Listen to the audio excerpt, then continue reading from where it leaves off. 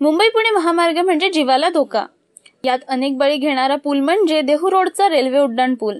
याच पुलाच्या चौपदरीकरणासाठी फुले शाहू आंबेडकर विचार मंचच्या नेतृत्वाखाली निगडी ते सेंट्रल चौक या चारपदरी रस्त्याचं रुंदीकरण तसेच रेल्वे ब्रिज ते गुरुद्वारा उड्डाण पुलासाठी सर्वपक्षीय धरणे आंदोलन सुरू आहे. या आंदोलनाच्या आठव्या दिवशी आंदोलनकर्त्यांनी जुना पुणे मुंबई रोडवरील देहू रोड जवळ आधार हॉस्पिटल चौकात वाहने अडवल्यामुळे काही काळ वाहतूक कोंडी झाली. हे आंदोलन चालू होऊन आठ दिवस झाले तरी प्रशासन ढिम्म आहे असेच म्हणावे लागेल.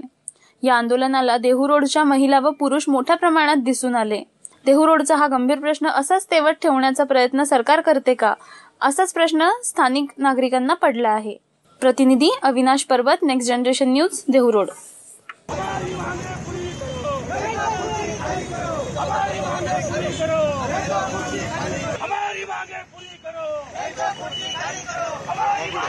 करो